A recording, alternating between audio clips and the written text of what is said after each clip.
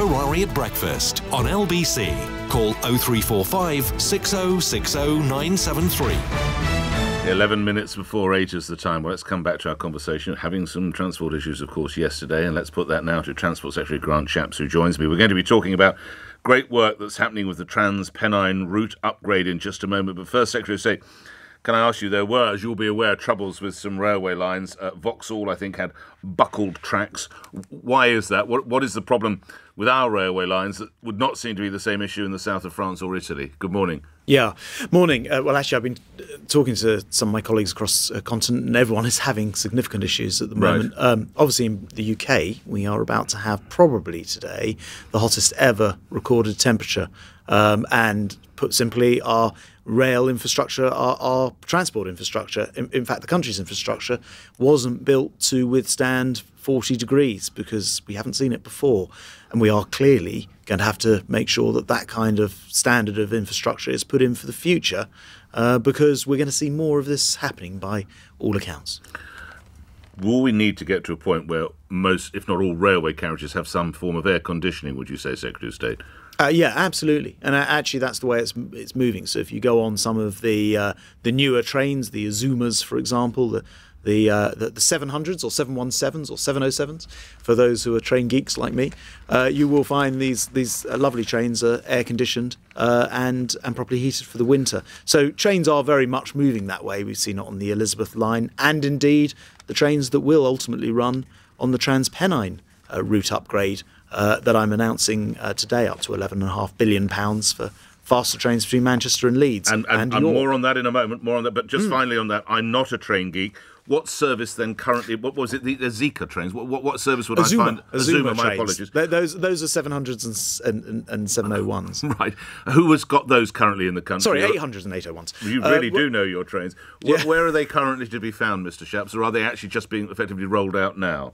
No. So so a lot of people, commuters in London, uh, will be familiar with with trains which are air conditions. Uh, for example, from my constituency in Welwyn Garden and Hatfield, the the, the 717s run from there uh, into London. These are Siemens um, trains. I, I, went to uh, the factory the other week. The, these are trains which are so uh, beautifully built that they tell you when they're going to go wrong in advance. They almost tell you when they're going to need service and tell you to book them in next month and things like that. The, the, the you know, the, the infrastructure is getting better and better. What we need to do uh, is kind of you know speed through improving it to be more resilient against some of this extreme weather, both hot and cold, that we're going to see much more of in, in the years to come. I know you're keen to tell listeners across the whole of the country, but particularly in the area, uh, what's happening for the Trans Pennine route upgrade. So do go ahead, Secretary of State.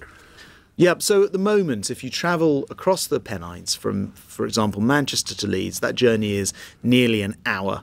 Uh, this upgrade that I've uh, talked about, which is a multi year uh, major upgrade, uh, will mean that you'll travel from Manchester to, to, Leeds in just over 30 minutes. So it's a huge improvement. Um, the sort of levelling up agenda that we've talked so much about in action. Uh, and it means that ultimately, actually, you'll be able to travel right across the, the north from, say, Liverpool to Warrington to Manchester to Leeds to York uh, and do so in great comfort, um, air conditioned as it happens, but also on uh, lines which have been electrified uh, uh with um, new digital signalling and new tracks. So this is a massive improvement uh, all part of our nearly 100 billion pound upgrade to, uh, to, to the railways that we announced recently in what we call the integrated rail plan, and this is this is part of it. So if you're anywhere around Manchester, Leeds, York, this is coming your way to huge benefit. And this is being delivered solely by better rolling stock, is it? No, uh, this will be a combination of things. Primarily electrification of the line all the ah. way across.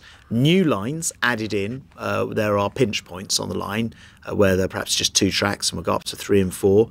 Brand new railway uh, laid uh, in, in the longer run for this upgrade between Manchester and Marsden, which takes out a, a bottleneck, and digital signalling. Uh, now, digital signalling, it means you get rid of the old Victorian signalling where you have, you know, literally traffic lights spaced along the railway, and you move to a system where the, uh, the, the, the, the signalling effectively moves into the in, into the cab for the train driver, uh, they can see on the screen where they need to start and stop. You can fit more trains more safely into uh, a smaller stretch of track. Uh, so that's the way forward. We're about to upgrade the East Coast Main Line, large parts of that to digital signalling, and it will mean a more efficient railway. So there, it's it's there are lots of different things that will more or less halve the journey time from Manchester to Leeds across the Pennine for passengers uh, in the next 10 or so years. So that's the way forward there. What's the way forward for the Conservative Party? And can I put it to you that the four contenders that we are now in, we've not heard a lot about levelling up from them, Secretary of State. Is that a fair criticism? Um, uh, so you've got four different candidates in at the moment. Um, as you know, I'm I'm supporting uh, Rishi. You are, uh, and uh, he is a huge fan of of uh, levelling up. He represents a, a, northern seat, as it happens, uh, and has not, not said a lot about me. it in these debates, though, has he? As and neither have all, uh, any of his colleague, colleagues either, have they? I wonder. Do you sense it slipped a little bit down the agenda, Secretary of State? I, I actually, I think the interesting thing about the debate at the moment in Parliament is it's been I think it's fair to say, largely a debate about how you run the economy. I think when it gets out of Parliament and into the country, so the last two, of which of course I hope that Rishi is is one of them. It's not there yet, but I very much hope he's one of the two. Uh, I think as the most experienced candidate, he's the person who um, would be able to step into the job as prime minister on day one and get on with that job.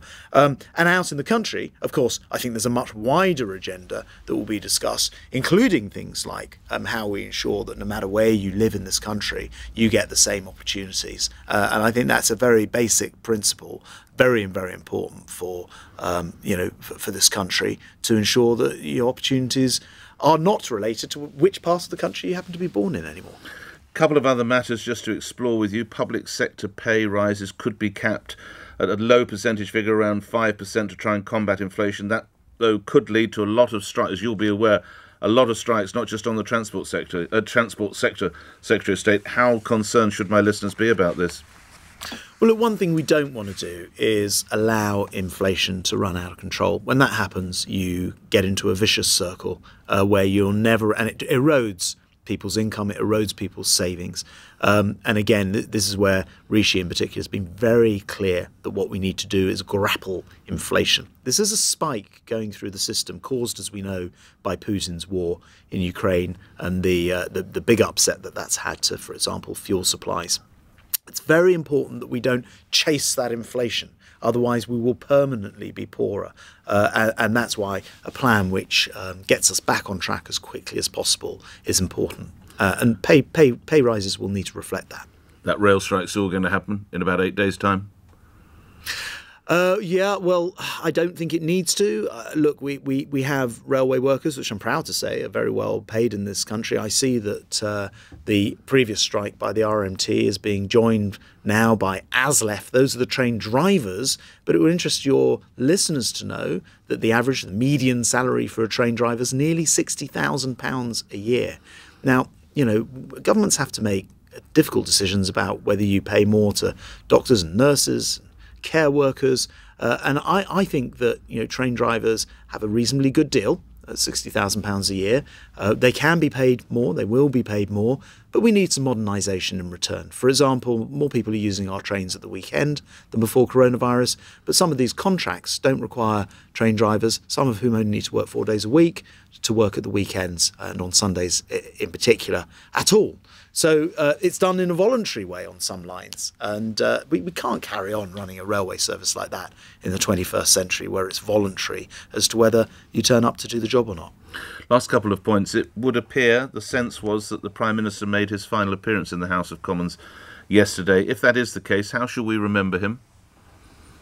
Well, I think he'll be remembered as somebody who was very good with some of the big picture stuff. So, you know, he got Brexit done, he got the vaccine rolled out in this country before uh, elsewhere, got us out uh, of the lockdown, the first in Europe, has led in the war in Ukraine and uh, defending uh, the West against Putin's aggression. So I think on the very big calls, he'll be remembered for those things. Uh, you know, to be blunt, he, he, he got some of the smaller stuff uh, wrong and and, uh, and and disastrously, you know, from his point of view, of course. Because it wasn't that long ago you were defending him on this show, though, Mr. Shapps. Well, I always thought, and I still and I still think, Nick, that on balance, um, you know, w- with the big things, and for example, take the AstraZeneca, uh, Oxford AstraZeneca drug that he pushed for development, pushed for the factories, pushed to get it out first.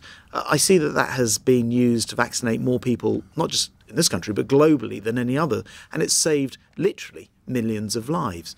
Now, I, I think on the, those very big calls, uh, he was an exceptional prime minister. It, clearly, it is also true um, that, you know, uh, in the end, uh, not looking after some of the small details uh, is one of the reasons why he has right. left office much sooner than he would have done. Talk about leaving office. Lastly, and currently as we speak, still in office, is the Police and Crime Commissioner for Nottinghamshire.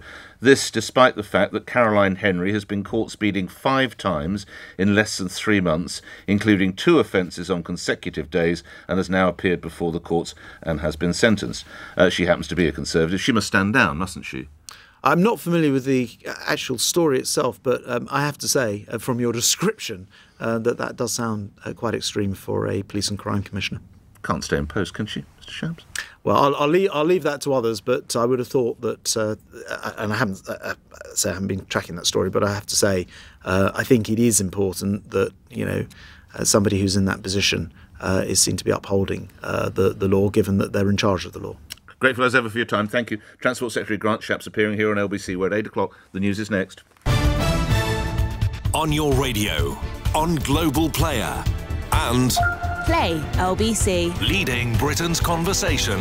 This is LBC. From Global's newsroom at 8 o'clock, it's expected to be the hottest day on record for the UK. Forecasters say temperatures will exceed 40 Celsius for the first time. Weatherman John Ketley